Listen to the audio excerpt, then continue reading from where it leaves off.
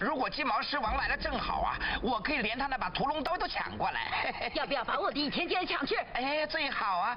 啊，哎，不敢不敢。哎呀，他连我心里的话都说出来了。嗯，幸亏啊，他不知道我想把他强奸呐。嗯，嗯，你强奸他？那我吃两亏强奸他的徒弟好了。啊，那辛苦你了，师兄。谁叫我是师兄呢？你们俩鬼鬼祟祟的在说什么？啊，没什么，没什么，我们在想把魔教的钱拿去祭品呢。